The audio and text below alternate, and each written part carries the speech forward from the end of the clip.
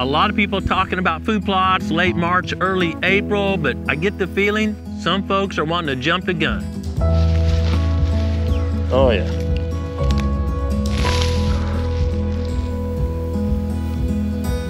I'm getting a lot of questions about planting. Boy, can I plant at my latitude or even further north? But when I look at the forecast, we've got several mornings that are gonna be in the low 30s coming up, and I'm in a valley, so that means it'll be five or 10 degrees lower here. We've got frost and freeze coming. It's really important not to plant too early during the spring. Boy, that soil temperature can drop a lot on those cold nights and either kill or set back the seeds.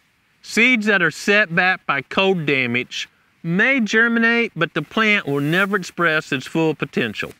Here in Missouri, our youth turkey season's usually somewhere about mid-April, give or take a bit, and I've seen it snow during youth turkey season, and I know planting before then is probably pushing it and you're taking a risk. Here at the Proving Grounds, we always plant blends. And a blend gives you the advantage of covering a lot of bases where a single species only has a one shot to do what you need it to do. And in this blend, which we planted last August, there was a super high quality annual clover that comes on strong this time of year. So we've got lush, high quality forage for now until we plant. Of course, deer and turkey are feeding on that clover and attracting them. And this time of year, right before that doe has fawns and the bucks are just thinking about starting antlers, High quality forage is critical.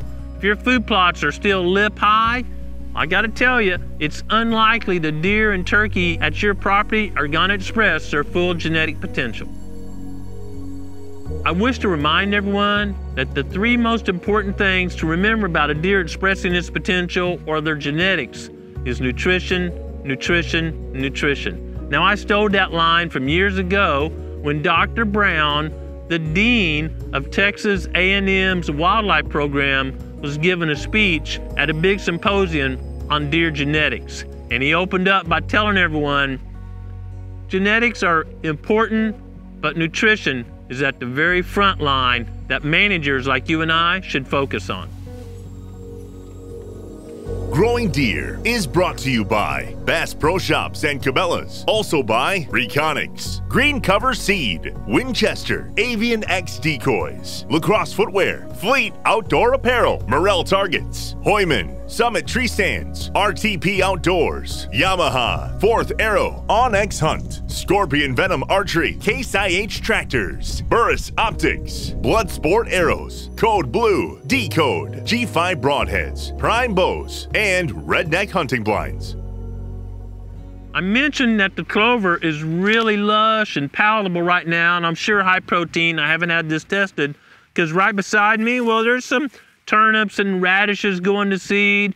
And once you see a plant go to seed like this, it's rarely palatable to deer or other browsers because they're moving a lot of nutrients to the flower. So I don't expect to see deer eating on this, but rather head down eating on this high quality clover. The same is true for the cereal grains. That's usually wheat, rye, and oats. Now, a lot of places north of here, the oats have froze out, probably got some wheat, and in this case, we're looking at cereal rye. And when cereal rye starts making that round stem, it's not the leaf surface area like this, but a round stem, it's not near as palatable to deer either. There's several radishes and turnips in this blend, and these are the first ones I see kind of looking around to flower, not many yet. But the other ones, well, you can tell they're starting to bolt. They're putting on a lot of growth right now. When they do that, they're not very palatable, and you might think, well, gosh, that's wasted. But that's not the case at all. Now, deer fed on the greens and several of the tubers all throughout the winter. They're gonna bolt and this will die and it will decompose. Now this has been extracting nutrients. I broke the long taproot pulling this out of the ground and it will extract nutrients while it's growing. And when it dies and decomposes, well, that's the perfect slow release fertilizer package. There's none better. And that's gonna release the nutrients that got deep out of soil profile right here on the surface for the new seedlings to use. I often say there's no magic bean or no magic species, no jack in the beanstalk, if you will.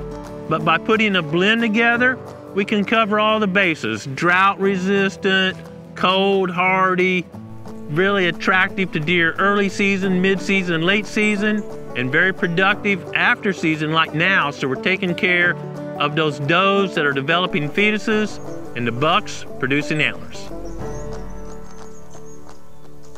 There's several good websites you can use to monitor the soil temperature at your site, and there's a link on the screen. That's one I use. I'm not saying it's any more accurate than the others.